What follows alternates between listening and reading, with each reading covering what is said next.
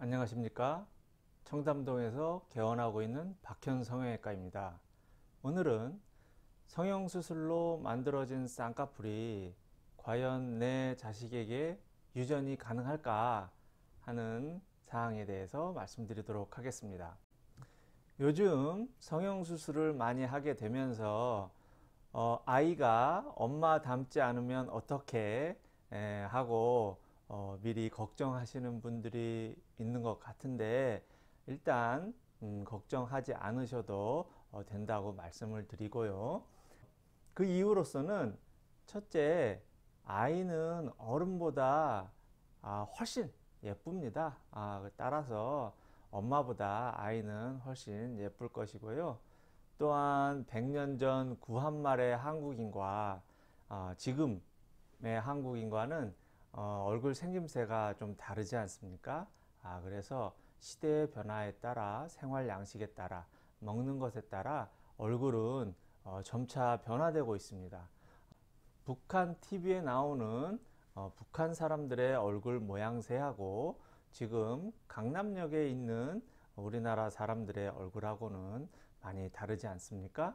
아, 그렇기 때문에 어, 유전적인 요인뿐만 아니라 사회 경제적인 여건 어, 또한 식습관의 변화 그것에 따라서 어, 얼굴은 달라질 수 있겠습니다. 30년 전에 우리 부모 세대들의 얼굴과 30년 후에 이후에 우리 아이들의 얼굴은 분명히 다릅니다.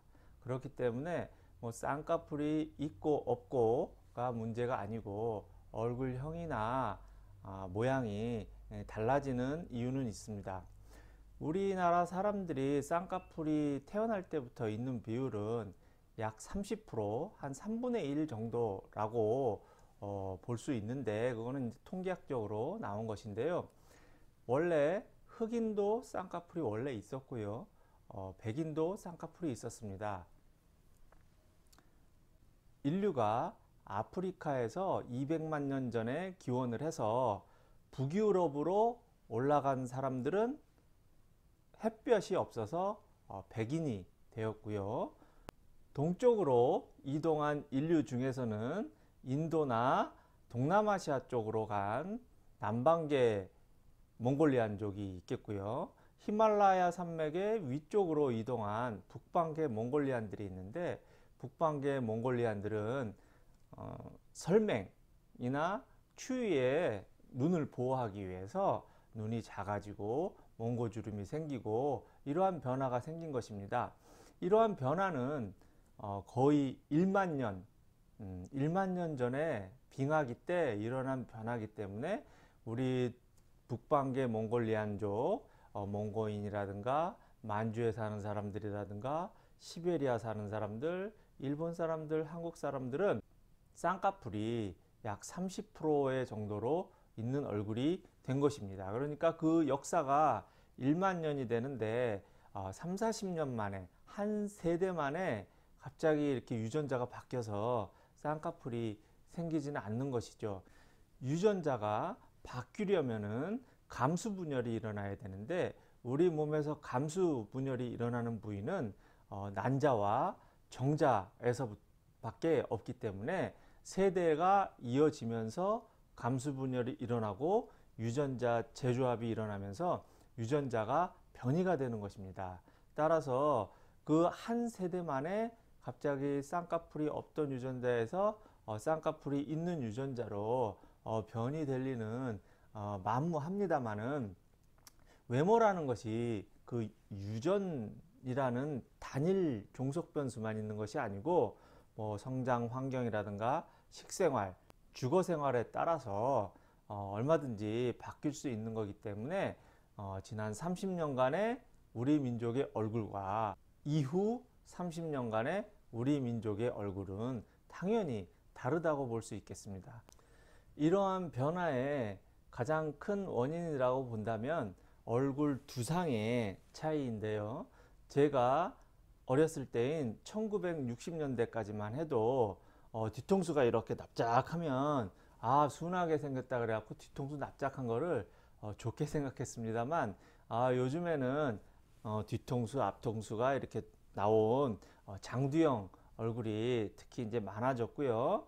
또 두 번째 얼굴형 변화의 원인으로서는 시베리아 이렇게 추운 날씨에서는 뭐 만약에 짐승을 사냥한다고 하더라도 다 고기가 얼게 됩니다. 어, 고기가 얼어서 언 고기를 막 씹어 먹다 보면 이 턱이 발달하게 됩니다. 그래서 동양계 몽골리안, 특히 북방계 몽골리안 혈통의 가장 큰 외모 특이성 중에 하나가 이 하관이 큰 얼굴이 되는데 요 즈음에는 마블링이라 그래서 고기가 질기면 맛이 없다고 하고 또 햄버거라든가 이런 것들은 굉장히 부들부들하지 않습니까? 옛날에는 저 어렸을 때만 해도 갈비 먹는다 그러지 않고 갈비를 뜯는다 그랬습니다. 이 갈비를 뜯어 먹어야죠. 그래갖고 이빨을 어, 쓸 일이 많았었는데 요즘에는 점차 이 이빨을 쓸 일이 적어짐으로 인해서 이 하악에 발육이 점차 적어지면서 하관이 작아지고 있습니다.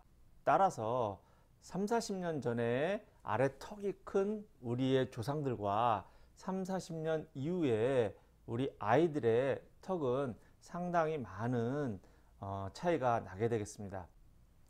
결론적으로 말씀을 드리면 수술받은 쌍꺼풀은 유전되지는 않지만 현대의 문화와 의식주 변화에 따른 향후 우리 자녀들의 외모의 변화는 어, 충분히 있을 가능성이 많다.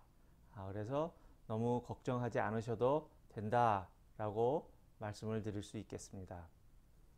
네, 그러면 오늘은 여기까지 하겠습니다. 감사합니다.